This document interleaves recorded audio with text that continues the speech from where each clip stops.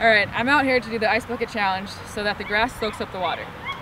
I'd like to thank Melissa Bromley for the nomination. Next, I would like to nominate Chris Brands, Peter David Dunning, Kyomi Chun, and Sarah Stanford.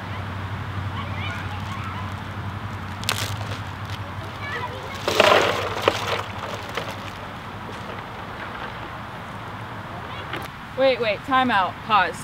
Why are we doing this? Right, ALS. Got it. But what is ALS exactly?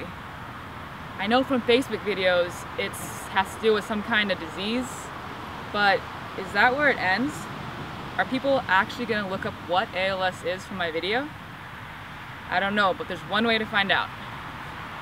So we're in Huntington Beach, California to ask people if they heard about this challenge, and if so, ask them if they can give us any other details about it, about the disease, and basically just describe why people are doing the Ice Bucket Challenge. So let's see what we got. Have you guys heard of the ALS Ice Bucket Challenge? Yes, I have.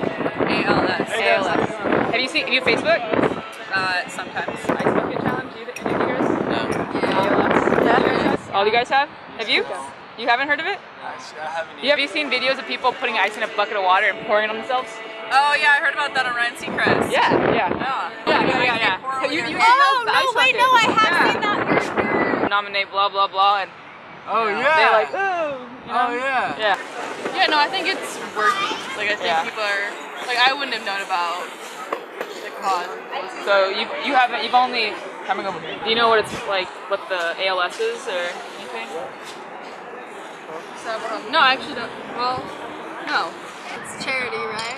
It's raising money for something. Um, I hear. So. Some benefit? Raise money for foundation for ALS. Um, have you participated in it or just seen videos? Just seen videos. Okay. Do you know what it's for? No. Um, ALS. No. Yeah. ALS?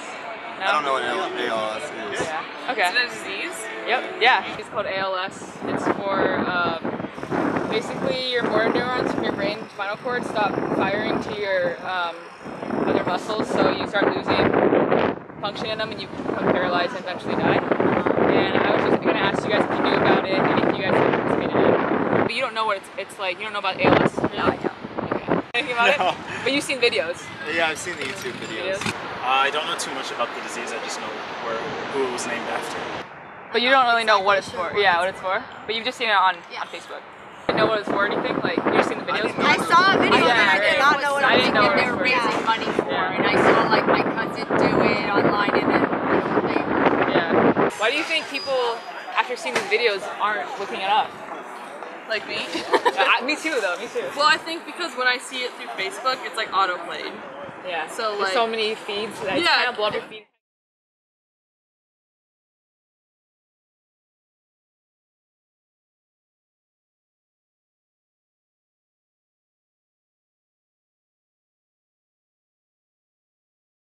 Now, I'm not saying that 100% of people who've seen these videos aren't looking up what ALS is, but the reality is, a lot of people aren't. Now, I think it's great that the challenge has raised so much money for this awareness, but I think we can do a better job at creating more meaningful awareness. So for future Ice Bucket Challenge nominees, I'd like to challenge you to just give a few comments about what ALS even is in your video or your post.